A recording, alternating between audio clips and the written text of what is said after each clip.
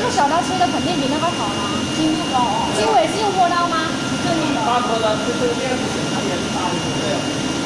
这个刀。正面那有，正面的。其实我们也可以多跟跟这个，就是都选择。但是我们俩切这种材料，用这个刀是最好的。可以了。面子小的不可以切伤的，这个刀。是那个，它是在那个激光头上面装那个刀吗？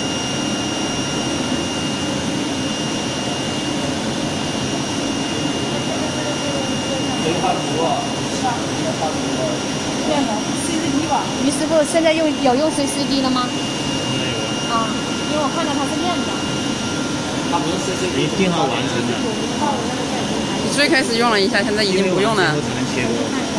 不是，里面是一是多少代？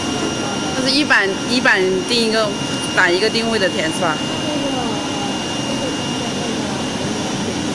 这定位直接定一次嘛，然后看看它是转过来，然后直接切。那个是这么高吗？这个是拖的。第二次切第二板还需要再次定位的。拉要第一次哦。那我第第二次跟这个板材一样的话，也要重新定位吗？一样的呀。一样。拉过来它会走因为偏。这个它是前后位置摆的不一样。哦。不能开。为什么不能开呀？哎，于师傅，这个是正宗的，这个是什么刀呀？波刀。拖刀吗？我就说是拖刀。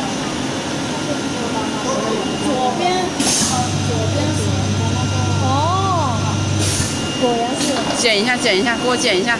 剪啥？哦，送给你。哦，他把它这样子弄，哎，从这个东西从哪里弄过来的呢？靠靠这两个东西吗？来剪一下，剪一下样板，剪啥？剪一下刚才切的。你说这个吗？对，我拍视频，都剪一下，特写。都剪一下。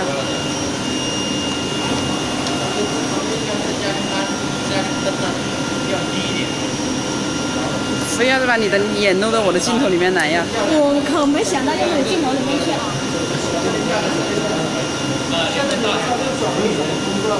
啊。啊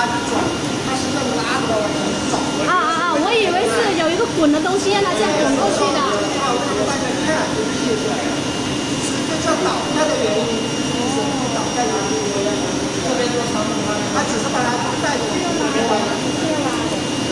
刚才拉了没看到吗？他刚才自己自己那个弄过来了。